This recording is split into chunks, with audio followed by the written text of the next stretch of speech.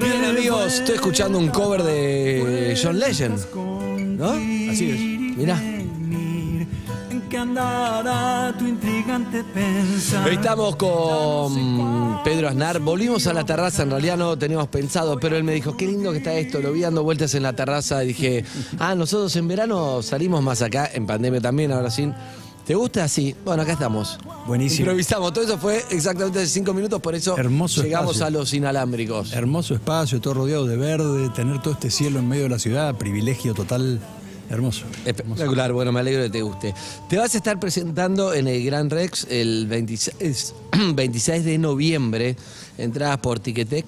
Y me pregunto, a esta altura de tu vida con tanto recorrido, ¿qué te produce presentarte, seguir presentando discos? ¿Te da como la misma adrenalina que antes? Sí. ¿Te da más, te da menos? ¿Es algo que ya estás acostumbrado? No, no, no te acostumbras nunca, felizmente no te acostumbras nunca. Siempre digo, el día que no te dé cosquillita en la panza antes de salir a tocar es porque te, te moriste. Chao. Chau, ya se- abandona la profesión, dedícate a otra cosa, porque es, es parte de lo que pasa y parte de lo que tiene que pasar. ¿no? Te- tenés que tener un poco esa, eh, esa, esa sensación de, de nervios de qué es lo que va a pasar. Mm. Eh, si no, sería todo muy, muy previsible. ¿Cómo cambió la música en, e- en e- en este tiempo, ¿no? con tiempo de redes sociales, de YouTube, de Spotify, de lo digital, de todo? Este, cambió mucho todo, ¿no? Toda la escena, todo. Entonces, ¿cómo te agarra vos que eras el pendejo del, del grupo de Segur Girán, eras el más chico, el que se fue a Estados Unidos, el que fue a estudiar música, volvió? Fuiste ese, ese, ese pibe de 20, 20 y pico. Ahora te cuento en otro momento. Disruptivo. Y por eso te digo, En su momento muy disruptivo. por eso, ahora voy a hablar del pasado, pero digo, hoy que te encuentra ahí en, en tu plenitud como músico, todo, pero cambió mucho algo que no imaginábamos. Cambió todo, ¿no? todo. ¿Cómo lo ves? ¿Cómo lo vivís? Muy bien, muy bien. Me parece, me parece que las herramientas que hay hoy para hacer música y para comunicar la música son geniales. Eh, está, está buenísimo. Y está, está buenísimo eh, lo, que, lo que las nuevas generaciones están haciendo con eso. Eh, me, gusta lo que pasa como fenómeno, me gusta, me gusta cómo, se, cómo se lo usa el recurso. Y para, para mí también personalmente, o sea, yo empecé a hacer música cuando, cuando sí o sí la música terminaba en un disco de vinilo. Claro. Ahora, ahora el vinilo es una opción y es una cosa boutique, si se quiere. Sí, sí, sí. Pero en aquellos tiempos era, ibas al vinilo, te guste o no te guste. Eh, después, bueno, pasamos por la era CD y ahora estamos en la era enteramente digital. Y, mm, y la, la posibilidad de, de- de tener una librería, una discoteca infinita a tu disposición en el bolsillo todo el tiempo es un sueño, es maravilloso. Yo lo uso personalmente como, como oyente, lo uso todo el tiempo. Y an- anoche me colgué escuchando, eh, bueno, que subimos la canción esta, este, este estreno del, del próximo disco, Todo de mí, y, y- y me dieron ganas de, de chusmear. Había estado trabajando en el estudio hasta las 10 de la noche y, y llegué a casa y me puse ahí a, a- a chusmear un poquito que había pasado en las redes y que andaba diciendo la gente. Y, y me puse en Spotify y, y saltó toda la, toda la lista de mi música y dije, Uh, ¡pah! todo lo que dice. Uno, uno, claro, uno sabe que, que eso, Sí, que sí, todo eso está ahí. Pero cuando lo ves decís, uh, y después me colgué y me dio, me dio ganas, uy, a ver tal de tal disco, cómo era y cosas, y qué, qué tal suena en relación a ahora y tal. Eh, y es impresionante que todo eso esté Está. en el aire, de- no entre comillas. Sí, sí, sí, sí. Es una herramienta increíble. A veces es más, hay tanto que es importante el conocimiento para ir a buscar, porque antes vos decís, está infinito, sí, pero no sé, El si no conocés y nadie te dice, anda a buscar esto, no sabés que Exacto. está. Hoy- O lo hace un algoritmo. Exacto, una, una capacidad muy importante hoy en, en la, en, la, en la catarata de información que hay es la capacidad de filtrado, de decir, "Bueno, ¿con qué me quedo? Exacto. ¿Qué elijo? ¿O para dónde voy? Porque si no te lleva el algoritmo de la nariz, Claro. a donde él quiere. ¿Tenés relación con, con esta nueva camada que, que la está rompiendo? Que antes hablamos, ¿no? No sé, Duki, Trueno, todo, toda esta nueva camada.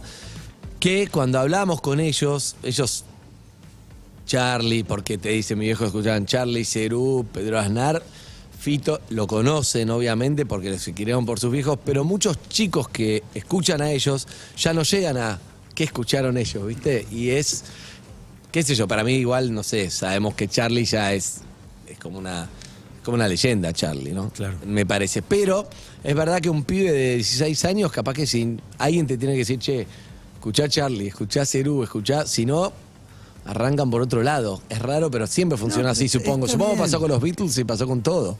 ¿O no? Está bien, yo, yo como, como fan de los Beatles que soy desde muy chiquitito, fui a buscarlo a Elvis más tarde. Claro. Pues lo veía a Lennon hablar de Elvis con admiración en las entrevistas, no sé qué. Y digo, ¿quién es el Elvis este? Era, Elvis era música que escuchaba mi prima que me llevaba 15 años. Claro. Entonces, este, yo decía, no, pará, Elvis es, es de otro tiempo. Y después escuché Elvis, me caí de espaldas, no pude creer. Claro. Eh, epa, y lo incorporé también como, como música que me gusta a mí. Y, y de ahí pa- pasé a Little Richard y a Chuck Berry. Y, y cuál- Para ir reconstruyendo de dónde viene cada influencia de cada uno. Exactamente. De- terminé escuchando a Sinatra feliz el otro día. Y los pibes llegan a, a Charlie. Van a llegar. Van a llegar. Ah, los que no llegaron van a llegar. El otro día me moría de risa, estaba, fui a ver el, el show de Woz en, en Argentinos, Sí. que la recontra La rompió, rompió. sí, Harry. La rompió, fue increíble. Este, y había, y había do- dos chiquitines muy jovencitos atrás mío, y yo los escuchaba muy atentamente lo que decían. Eh, me daba mucha ternura muchas cosas que decían, eh, con todo respeto digo, no ternura. Y, en un momento eh, eran un chico y una chica. El chico le dice a ella, sí, no sé, fuimos, fuimos a comer a no sé dónde, y bueno, habían ido a ver tocar a no sé quién, a un lugar donde además se servían tragos, comida y no sé qué. Dice, nada, y caímos re temprano, caímos a las 8, porque estaba anunciado a las 8, pero terminaron tocando como a las 11. Y todo ese tiempo, bueno, empezamos a tomar. Y, y pues, pues, podés creer, boluda, le dice, que pusieron durante las tres horas que estuvimos esperando a Frank Sinatra un torro. y yo soy recontra fan de. Sinatra. No, pero está bien. Claro. te Me causó mucha gracia. causó gracia. Dije, claro, mirá lo que pasa. Yo a los 18 también me decía Sinatra, te decía, tomátela. Claro, claro. Es un tema de edad, pero Sinatra te espera, como el tango. Te Exactamente. espera, te Sinatra está siempre ahí. Está bien, está bien. Elvis Como también. el tango, como tango 4, te espera, vas a llegar. vas a llegar. Vas a llegar, tranquilo, espera, vos de risa. Me lo decía mi viejo con el tango. A mí también me lo decía.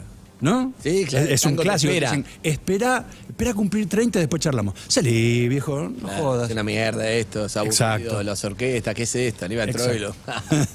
Escúchame, pero vos sos parte de mm, quizá la banda más importante del, del, ¿no? del rock argentino, vos sos parte de esa esa mezcla que fue rarísimo, irrepetible, ¿no? Que yo creo que sí van a llegar todos a, a Cerú, a, a lo que fue Charlie.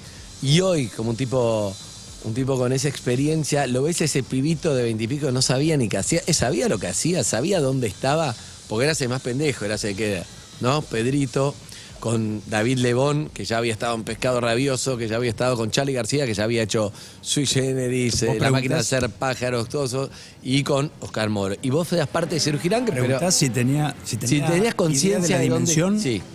Si sabías quiénes eran estos tipos y que Sí. ibas a formar. No, eso sí, pero digo que soy parte de esto, este grupo va a ser historia cuando Brasil 78, un verano, Bucio, ¿sabías lo que iba a pasar? La dimensión real no. Yo creo que ninguno de nosotros eh, eh, tomó verdadera, verdadera conciencia de lo, de lo que iba a pasar eh, transgeneracionalmente con esa música. Eh, sí, había una, una sensación como de que, ah, bueno, somos, somos un, un- un grupo potente. Le decían como los Beatles argentinos, ¿no? Se decía. Claro, sí, o supergrupo, porque, porque eran todos famosos, menos yo que venía del underground. Pero. eh, ¿Quién te llama vos ahí para formar parte de Circo? Charlie. ¿De dónde te conocía? ¿Dónde, dónde te vio? Eh, hay controversia al respecto. David cuenta una cosa, Charlie y yo otra. Que cada uno tiene un recuerdo distinto de cómo fue.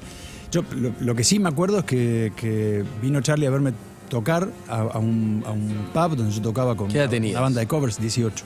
18 años. Sí. Claro. Y este, hicimos el primer set, me invitó a su mesa a tomar algo, qué sé yo, y me dijo, estás contratado. ¿Eso te dijo él o eso te recordás vos? Eh, no, lo, lo- lo ¿Es de cito, tu versión, la versión lo cito libremente. Seguramente no uso esa palabra, pero. Pero sí, digo, obviamente. Estás adentro de la banda, ya Chao. está. Listo, pibe. Vení para acá. Ajá. ¿Y David qué dice? ¿Que ¿Cómo fue? Que él le dijo. Yo que- no me acuerdo, pero, pero los tres tenemos un recuerdo. Lo, lo del pub ese ocurrió, eso es Eso sí, posta. eso sí, eso ok. es posta. Ahora, ¿cómo fue la conexión para que me llamen? Claro, no sé. Puede haber sido porque con, con Moro estábamos haciendo al- algunas cosas, to- tocábamos con, como, como músicos contratados con Pastoral, eh, el verano anterior, hicimos algunos shows y no sé qué, y nos habíamos conocido con Morito, nos habíamos hecho medio amigos, entonces Charlie lo iba a llamar a Moro para, para, para armar la banda, y es probable que Moro le haya dicho, che, estoy tocando con un pibe jovencito, que no sé qué, es probable que fuera por ahí, pero la verdad también yo tenía una, una- una idea falsa que después la, la cotejé con David y no era, que, que había sido David que me ¿Y había visto tocar con el grupo Alas cuando yo tenía 17 y que le había hablado a, a Charlie, pero parece que no, no sé muy Claro. bien. Y cuando te contrataron, fuiste ahí. Eh, ¿Vivías solo? ¿Vivías con tus viejos? Con ¿Quién- mis viejos, era un Claro, nene. por eso. ¿Y Era un qué nene. dijeron tus viejos? Es más, Caray. mi- mi- ¿Vos te, fue de qué vas a vivir? fue el ¿Te primer dijeron de qué viaje- vas a vivir? No. Fue el primer viaje Tu viejo era internacional. músico también, ¿no? Sí. Fue el primer viaje internacional para el que mi viejo no me tuvo que. A ver, sí, para el que mi viejo no me tuvo que firmar un papel de salida del país, Porque vos cumpliste porque había, cu- había cumplido ya 18, pero De recién, Brasil. recién ahí nomás. Y este, el- el- unos meses antes había tenido que ir a tocar con Alas a, a Chile, tenía 17, mi viejo me tuvo que autorizar. Claro. Era muy chiquito. Claro. Pero de ahí viene el primer disco. La Gracia de las Capitales, ¿ese primer disco? No, ¿Cuál? el que se llama Cerú Girán. Ah, Cero Girán, después viene la Gracia. Eh, sí, sí, Cero Girán, estoy viendo la tapa. ¿Y ya ahí te diste cuenta de la dimensión o no? ¿Dónde estabas? Lo que era la banda, que iban a hacer historia, que... Yo creo que esa, esa ficha cayó después, porque el primer disco era un disco bastante experimental, era un disco, era un sí, grupo de rock más una teclado. orquesta, Sí, sí, sí, me acuerdo. eh, tenía una impronta bastante experimental. ¿Qué Eh, temas tenía que no me acuerdo? Yo creo que la ficha del, del impacto que iba a tener cayó después, cayó con la grasa. Ahí, ahí pegó. Este estaba ahí. Y eso que, estamos, que está sonando estaba en el primer disco. ¿En el primer disco ya? Ah. Está. Cero Girán remasterizado. Ah, claro, habría con Eti Leda, habría con este. Claro, desayunate, claro. Claro, listo. Esta va a ser la banda, carta de presentación. Este es tu desayuno. Tremendo. Acá tenés tus medias Tremendo. lunas. Ah, y Seminare también estaba ya en el primer Sí. disco. Claro, no. No, algo raro había en ese. Y sí. ese- ya se veía ahí, chao. Sí. Espectacular. ¿Cuánto duró Cerú y cuánto te pareció a vos que duró? La primera fase duró cuatro años, pero pareció medio eterno porque, porque era todo muy rápido. Hicimos, hicimos cuatro o cinco discos en ese, en ese tiempo, hicimos cientos de shows y, y explotó, explotó. Se- se- como que se fue de las manos. Claro.